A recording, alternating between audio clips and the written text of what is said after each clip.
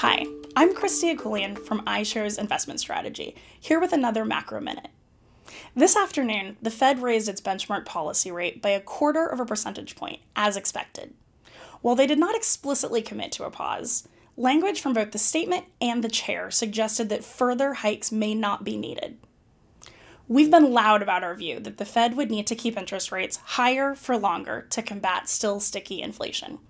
With policy rates now between 5 and 5 and a quarter percent, we may have reached the higher part of the equation, but we don't believe we've yet satisfied the longer component.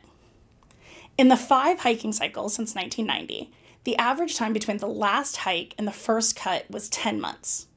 And even though this hiking cycle was rapid by historical standards, we believe that the pause period will be more in line with the average, and we don't expect rate cuts this year, even though economic activity is showing signs of deteriorating.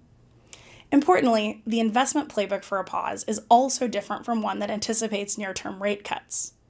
Investors should consider stepping out of cash to capture opportunities in historically high yields in short and medium term bond funds, which can both provide ballast and income to a portfolio, while seeking higher ground in quality and minimum volatility equity strategies that may help reduce overall risk. To learn more about investing in this market environment, visit the iShares.com Insights page.